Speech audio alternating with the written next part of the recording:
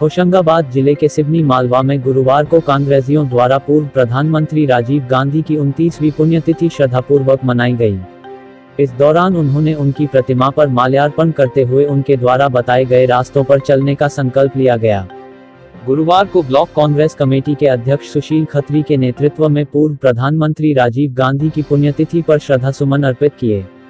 वहीं ब्रजमोहन रघुवंशी ने बताया कि पार्टी के सभी पुराने सिद्धांतों को भी सैनिटराइज करने का समय आ गया है। अगर हमें पार्टी को आगे बढ़ाना है तो सभी को मिलकर प्रयास करना होगा।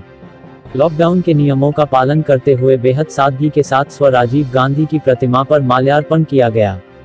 वही कांग्रेस पदाधिकारी विकास पाठक ने कहा कि आधुनिक भारत और भारत में सूचना क्रांति के जन्मदाता राजीव गांधी की विकेंद्रीकरण और सूचना प्रौद्योगिकी जैसी दूरदर्शी सोच और दिशा पर आज भी भारत निर्भर है।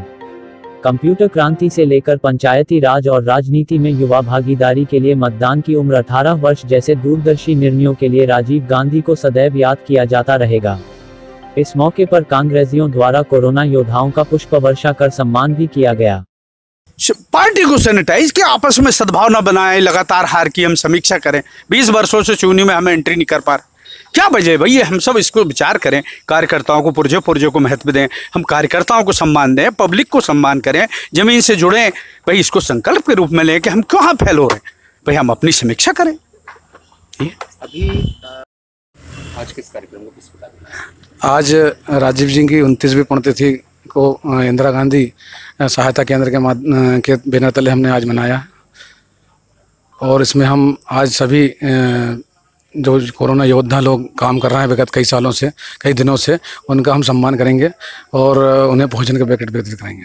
कैसे याद करते हैं आज के आज हम अपने पूर्व प्रधानमंत्री जी को बहुत सादत से याद करते हैं और उन्होंने देश के लिए अपने प्राण नछावर किए हैं और देश को नई दिशा नई ऊर्जा और नई तकनीक दी है। इसलिए हम उनको नई तकनीक और नई ऊर्जा के रूप में संचालित हमारा देश रहे हमेशा इस, इसी उससे याद करते हैं देश के पूर्व प्रधानमंत्री जब इंदिरा गांधी प्रधानमंत्री थी, उस समय उनके ही बॉडीगार्डों के द्वारा आतंकवादी गतिविधियों को लेकर श्रीमती इंदिरा गांधी पर का सीना छाती गोलियों से छलनी कर दी गई थी और देश में ऐसे दंगे भड़क उठे थे जिसके कारण पूरे देश में दंगे भड़के। उसी समय हमारे सबसे युवा उनके पुत्र राजीव गांधी ने प्रधानमंत्री पद की शपथ ली और लोकसभा के चुनाव के पश्चात पूर्ण बहुमत से देश में जब कांग्रेस की सरकार आई तो राजीव जी प्रधानमंत्री बने और सबसे कम उम्र के युवा प्रधानमंत्री इस देश के भारत रत्न राजीव गांधी रहे। राजीव गांधी का नाम राजीव रत्न गांधी भी कहा जाता है।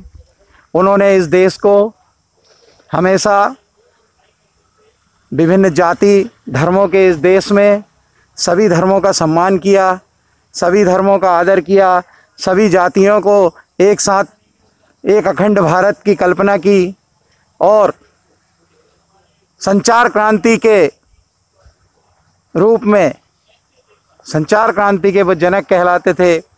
उन्होंने संचार क्रांति शुरू की। राजीव गांधी ही ऐसे नेता थे जिन्होंने पंजाब में राजीव लोंगोवाल, समझौता कराया और आतंकवाद को समाप्त किया। उन्होंने इस देश की युवा पीढ़ी को आगे बढ़ाने के लिए 18 वर्ष के युवाओं को मताधिकार का अधिकार दिलाया। देश में पंचायती राज व्यवस्था लागू की। हम आज इस पुण्यतिथि के अवसर पर